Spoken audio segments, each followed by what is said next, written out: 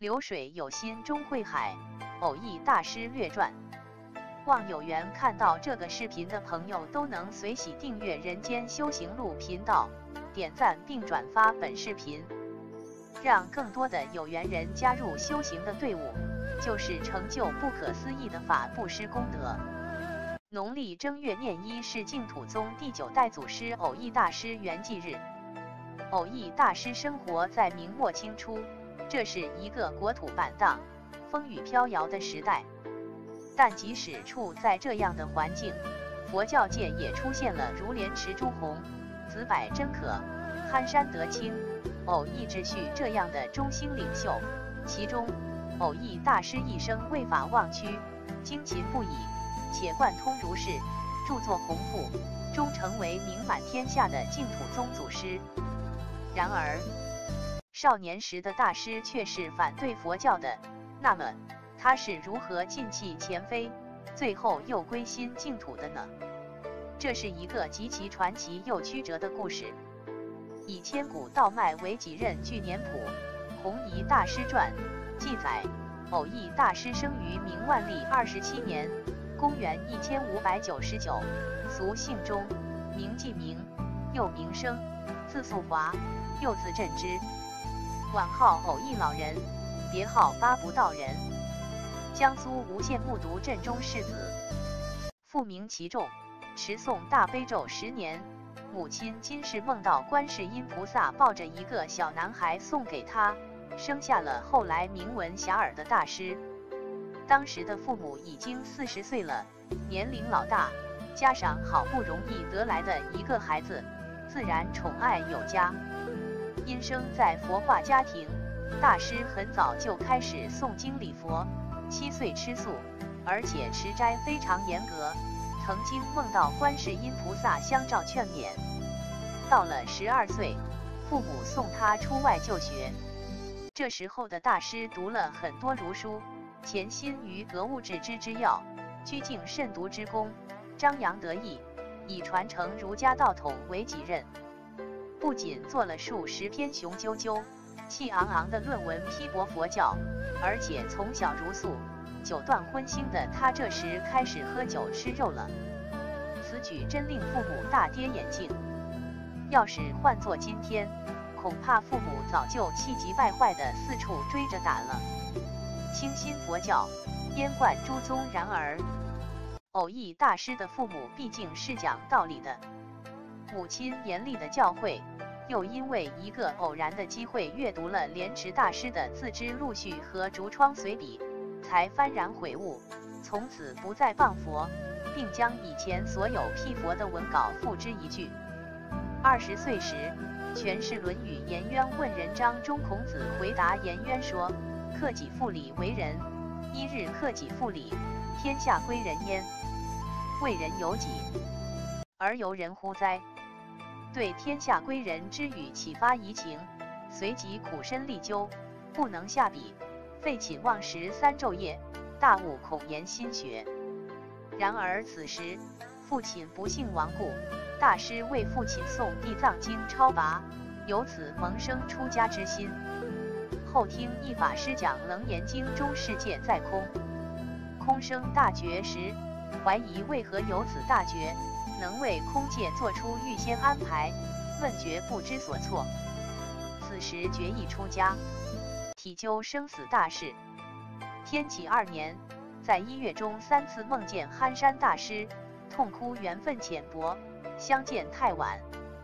本欲从憨师出家，然而千里迢遥，遂依憨山大师的高足雪岭禅师出家，命名智旭。出家后的大师如鱼得水，饱参佛法甘露，于宗门教下深参历究。第二年夏，坐禅于余杭径山，体究功极，身心世界忽皆消陨。因知此身从无始来，当处出生，随处灭尽。但是坚固妄想所现之影，念念刹那不住，的确非父母所生。自此，性相二宗。一其透彻，一切经论、禅宗公案，无不现前。随即觉悟到此境界非为圣正，故绝不与一人。久之，则胸次空空如也。这个境界，即是天台六极中的名字位。二十八岁那年，母亲病重，大师回家亲自侍奉汤药，并四次割身肉做药引，寄望以此孝心令母亲增福延寿。然而，母亲最终仍然病亡。料理完丧事后，即往深山闭关，以参禅功夫求生净土。大师看到当时戒律衰颓，为匡正戒律，阅律三遍。虽然对于戒律的解悟很深，但自愧烦恼习气强烈，行持不够，故终其一生从未与人受戒。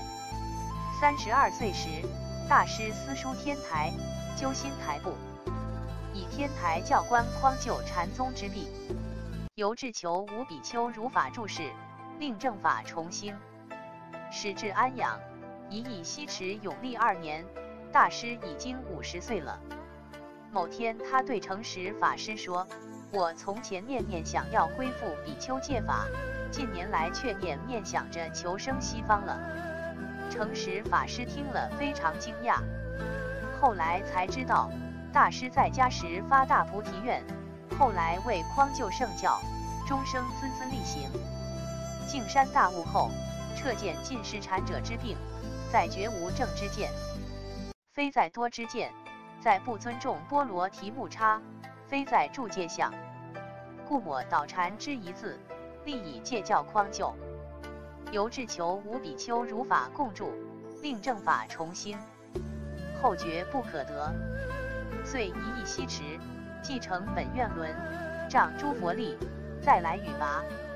至于随时著述，竭力讲演，皆了与有缘下缘顿种，非法界众生一时成佛。直下相应，太平无事之初至矣。由此思路一转，大师晚年就专修净业了。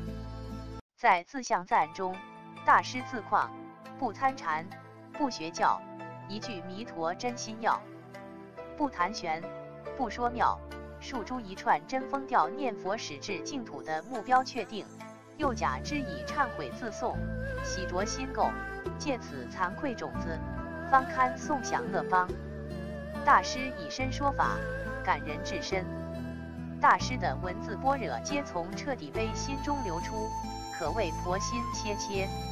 故日本京都沙门光莲比丘在一千七百二十三年重刊《灵峰宗论序》中说：“余亦常言，读偶一宗论而不堕血泪者，其人必无菩提心。”莲宗十三祖印光大师敬仰赞叹某祖言言见地，语语超宗，如走盘珠，利益无尽。又赞言宗成教义两融通，所悟与佛无异同。或业未断犹披气，经语则化气前功。由此立修念佛行，绝欲现生出凡龙。苦口切劝学道者，生西方可济大雄。印光大师又曰。若论斗鸡最妙之书，当以净土十要为关；而《弥陀要解》一书，为偶义最精最妙之著。自佛说此经以来之著，当推第一。